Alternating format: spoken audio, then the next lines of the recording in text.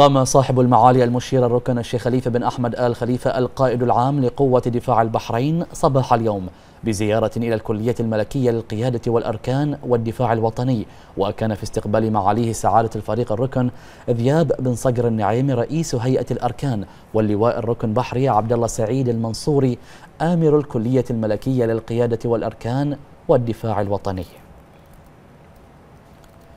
وفي بداية الزيارة اطلع معاليه على مركز المشبهات الذي يعد من وسائل التدريب المتقدمة لتقييم ومعرفة كفاءة الوحدات والأسلحة بشتى صنوفها ويتميز المركز بإدارة وتطوير الخطط وزيادة فعالياتها عبر التمارين التي تنفذ بالكلية على المستوى التعبوي والعملياتي وبما يخدم العملية التعليمية بالكلية كما شاهد معاليه مجريات تمرين القلعة الحصينة.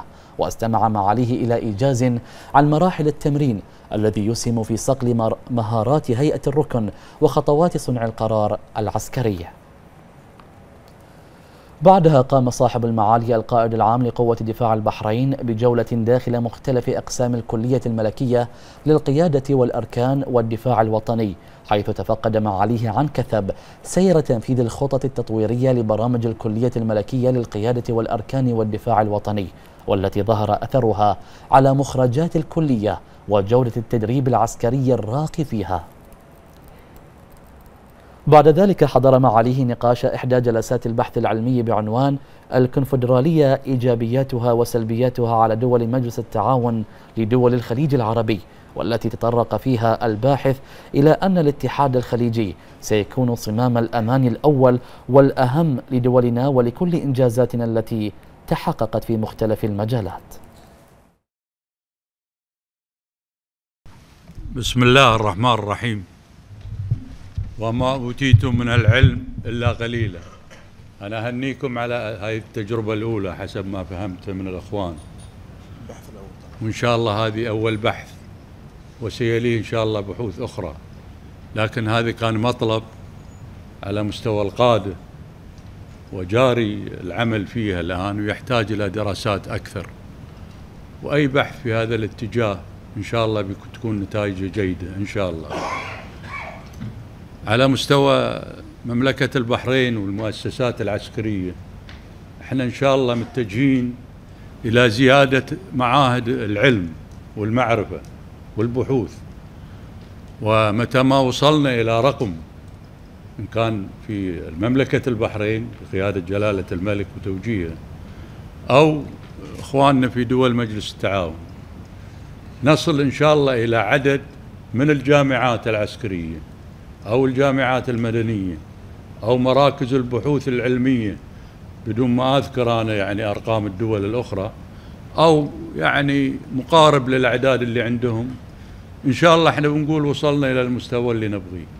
وهذا طريق طويل وإن شاء الله إحنا ماشيين فيه وبنوصل إن شاء الله بجهدكم وجهد الإخوان والشباب الموجودين في البحث والمعرفة ونتمنى لكم إن شاء الله التوفيق والنجاح إن شاء الله. وخلال الزيارة رأس صاحب المعالي المشير الركن الشيخ خليفة بن أحمد آل خليفة القائد العام لقوة دفاع البحرين. اجتماع المجلس الأعلى للكلية الملكية للقيادة والأركان والدفاع الوطني والذي عقد في مبنى الكلية.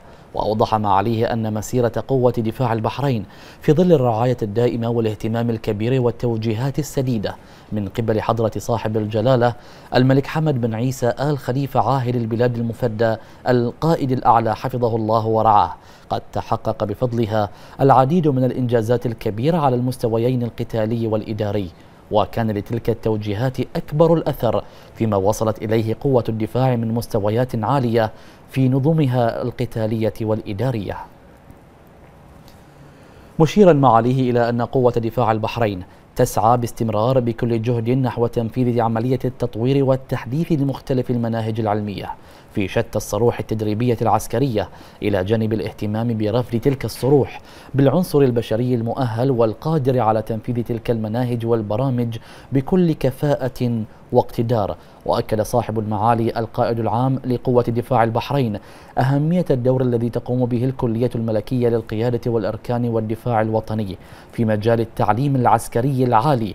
الذي يرمي إلى إعداد ضباط مسلحين بكافة متطلبات القيادة العسكرية المعاصرة على المستوى الاستراتيجي والذي بدوره سينعكس أثره الإيجابي على عمليات تنفيذ الواجبات لمختلف أسلحة ووحدات قوة دفاع البحرين متمنيا معاليه للقائمين على الكلية الملكية للقيادة والأركان والدفاع الوطني التوفيق والسداد وتحقيق كافة الأهداف المتعلقة بالبرامج التدريبية المتخصصة والمرتبطة بالشؤون الدراسية سواء النظرية أو العملية الخاصة ببرامج شهادة الدفاع الوطني.